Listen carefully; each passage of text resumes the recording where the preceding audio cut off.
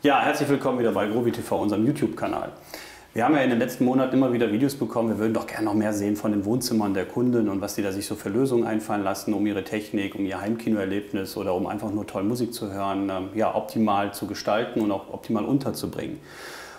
Da haben wir uns natürlich das Ganze nicht zweimal sagen lassen und wir haben einiges vorbereitet. Und jetzt bin ich bin froh, dass das Termin nicht auch mal geklappt hat, dass ich nämlich bei Frank bin. Und der Frank, hallo erstmal. Hallo Patrick, Danke, dass du uns eingeladen hast. Der Frank ja. ist ein guter alter Kumpel und Freund von uns und der hat sich jetzt dieses wunderschöne äh, Schmucke Eigenheim gekauft und hast dann überlegt, wenn das jetzt schon meins ist, dann will ich das jetzt direkt richtig machen, wenn es um Unterhaltungselektronik geht. Ne? Richtig, genau. Und was waren so die Anforderungen jetzt gerade im Wohnzimmer? Was wolltest du machen?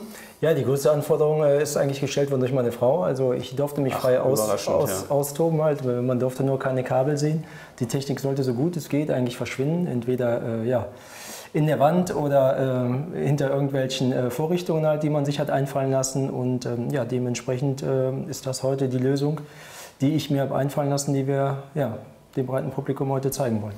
Ja, wir haben das Ganze nämlich uns mal im Rohbau angeschaut. Rohbau ist gut. Wir haben das Ganze, das war fast entkernt, sag ich mal. Ne? Hier waren Tapeten alles runter, die glatte, nackte Wand. Man genau. wusste ungefähr, wo der Stromkabel gelegt worden ist und das war es dann aber auch. Und Richtig. dann ging es darum, dass wahrscheinlich ganz schnell ja, entschieden wurde, weil das da der Fernseher hin sollte. Genau.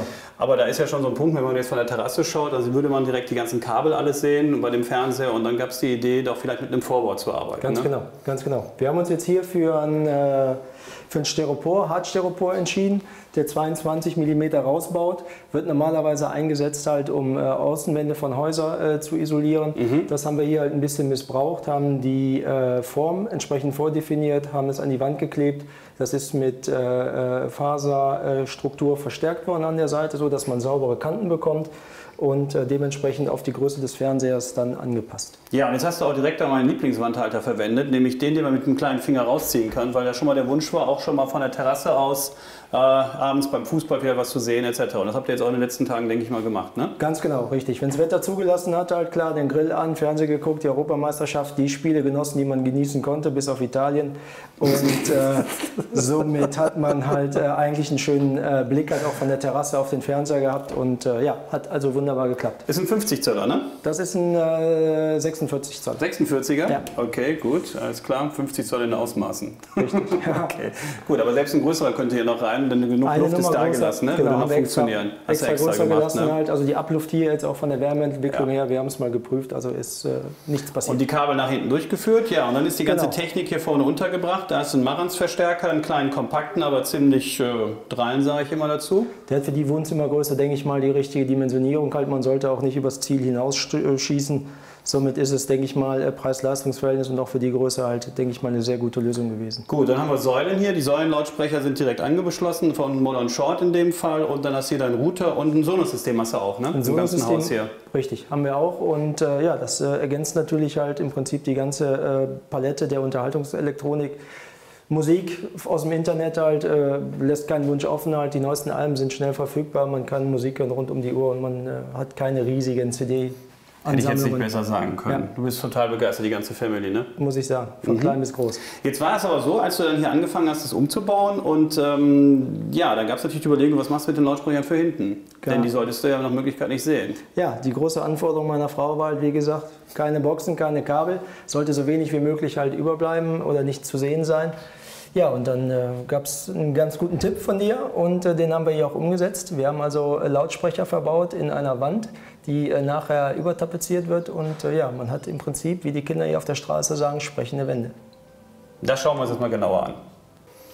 Also hier ist eigentlich eine übliche Situation, was die Sitzecke angeht. Man hat eine wunderschöne Sitzcouch, aber eben direkt an der Wand. Und jetzt geht's los, wo kann ich hier die Lautsprecher unterbringen? Ja, und da hast du schon gesagt, das war ein absolutes No-Go. Man sollte sie eigentlich nicht sehen, ne? Richtig. Ja, es gibt die Möglichkeit, auch das haben wir jetzt in den letzten Monaten schon mehrfach demonstriert, diese wunderschönen Wandeinbaulautsprecher. Nur als wir dann gesehen haben, wie die Wand nachher mal aussehen sollte, haben wir gedacht, naja, machst du jetzt also diese Wandeinbaulautsprecher dran, dann hat man fast das Gefühl, das sind Lüftungsgitter. Ja. Das sieht jetzt nicht so schön aus, auch wenn die super schmal sind in dem Bereich, aber hier bei dieser Wand wirkt es einfach nicht. Und da gab es dann die Idee, mit Wandeinbaulautsprechern zu arbeiten. Ja, und was hast du alles gemacht? Da gab es dann die besonderen, wir haben es mal hier mitgebracht, von Stealth Acoustics. Das sind ja die hier. Das ist jetzt mal so ein Originalstück. So sieht der dahinter aus. Genau. Und wie musstest du vorgehen? Ja, Komm, wir setzen uns mal. Als Zubehör gab es dazu noch eine äh, Einbauvorrichtung in Form einer Box. Kann man sich vorstellen wie ein Schuhkarton aus Holz den man im äh, Prinzip in die Wand halt einlassen äh, muss, komplett. Das ist jetzt eine Außenwand, die du hier hast, ne? Das ist Oder eine die zur Außenwand Garage hin, ne? mit einer dahinterliegenden Garage halt. Also man hat im Prinzip vom Mauerwerk her, ich äh, schätze, oder es müssen so 200 Millimeter sein, die man als Außenwandstärke zur Verfügung hat. Was hast du rauskloppen müssen?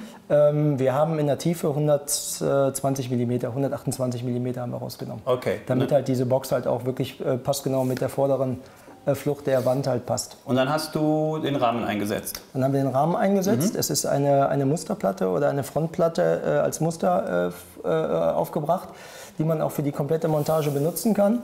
Ähm, Ja, hier ist ja auch so eine Schablone dann, ne? Ganz genau, so sieht das in, äh, in etwa aus.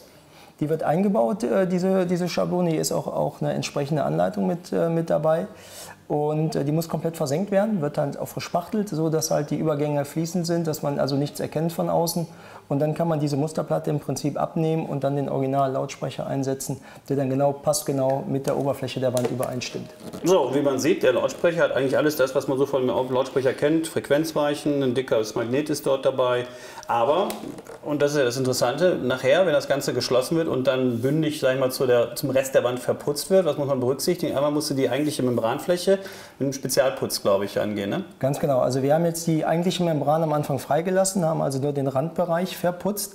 Dafür gibt es einen äh, speziellen Feinputz, der auch für die kompletten Räume hier benutzt worden ist. Das ist ein, äh, ein Feinputz, den man auch für diese speziellen Tapetenform jetzt hier benutzt. Das ist äh, eine Glattfließtapete, die also sehr hohe Anforderungen, sage ich mal, an den Untergrund stellt, damit die auch äh, schön aussieht. Ähm, somit konnten wir diesen Putz halt auch gleichzeitig dafür benutzen, halt, um die äh, entsprechenden Boxen hier äh, in der Wand verschwinden zu lassen und plan zu putzen. Das war also das gleiche Material. Und das heißt, nachher hast du also diese Oberfläche mit diesem Material, mit diesem neuen Putz dann entsprechend versehen, so dass wir auch wirklich ja überhaupt null Kontur, Kante, irgendwas erkennen können. Man Man kannst ja sieht- nicht, wirklich nicht Man erahnen, sieht gar nichts, nichts. man ne? sieht gar nichts. Also man hat, äh, wie gesagt, man hat im Prinzip eine sprechende Wand, die auch im äh, Anschluss daran übertapeziert worden ist, auch zweimal übergestrichen ist und man hat einen absolut super tollen Klang. Ja, also die Nachbarkinder sagen schon alle, du hast die sprechenden Wände, hast du vorhin erwähnt. Ne? Richtig, Papa, genau. der hat sprechende Wände. Und die Väter müssen jetzt alle gucken kommen. Ja, das ist doch gut so. Ja. Äh, die Frauen auch wahrscheinlich dann, ne?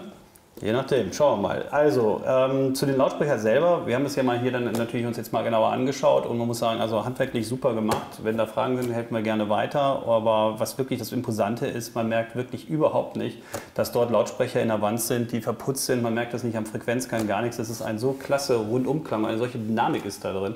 Ähm, ich denke mal, dass diese Technik sich immer mehr, äh, ich sag mal, durchsetzen wird. Man muss es natürlich vorher planen, wie weit die Möglichkeit besteht, diese tiefer aus der Wand rauszukloppen. Denn das sind schon, wie gesagt, 13 cm ungefähr. Fast waren's, 13 Fast 13 Zentimeter. cm ist nicht gerade wenig.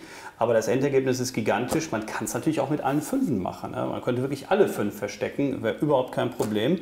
Am Verstärker selber ist jetzt nicht so die Wahnsinns-Neuanforderung ähm, für gegeben. Wir haben jetzt hier ein relativ kompaktes Gerät von Marantz.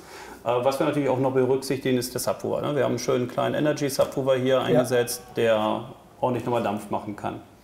Das heißt, die Family, alle sind total happy und fühlt sich sauwohl hier. Ne? Und Musik läuft hier von morgens bis abends. Die läuft von morgens bis abends, wird ausgenutzt halt und wie gesagt halt äh, sprechende Wände, das ging hier schneller rum als äh, ein Lauffeuer. Hast dich gut bekannt gemacht. Richtig. Super, Frank, ich danke dir. Wünsche dir weiterhin viel Spaß, schöne Zeit. Und wenn ihr Fragen habt zu dem Thema, jederzeit bitte anrufen, E-Mail oder vorbeikommen. Bis dann. Tschüss. Tschüss.